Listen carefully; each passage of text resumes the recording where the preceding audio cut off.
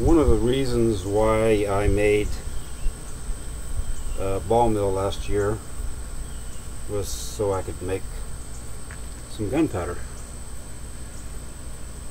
Once you've made gunpowder, then you can take ordinary old cotton string and soak it in some wet gunpowder and turn it into a fuse.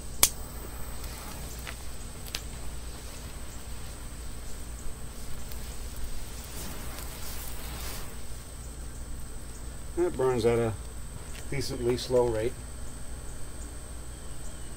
But you can take that same fuse and put it in a paper tube. And it can be tied off like I have here. Uh, but once you have it in a paper tube, it burns a little bit different. That stuff is called black match. This is called quick match, as you'll see why.